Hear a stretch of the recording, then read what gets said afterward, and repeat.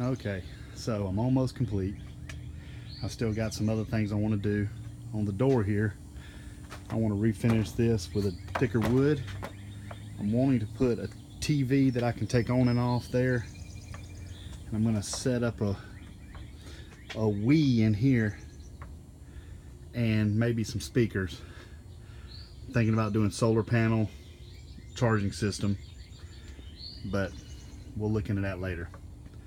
All right, I've hung this fast track thing I got from Home Depot. It's okay. I don't, I'm still haven't tested it real well. I don't know how it's going to hold from pulling as I turn, but we'll see. I have my stops in. I've sized my tables.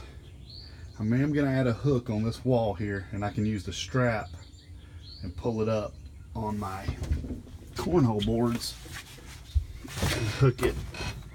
I'm just trying to debate on where and I may even use a bungee system. I don't know yet.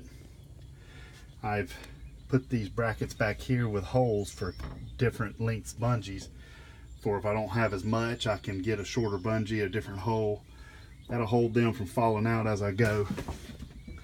Have my shelves complete, lower shelves complete, upper shelf complete.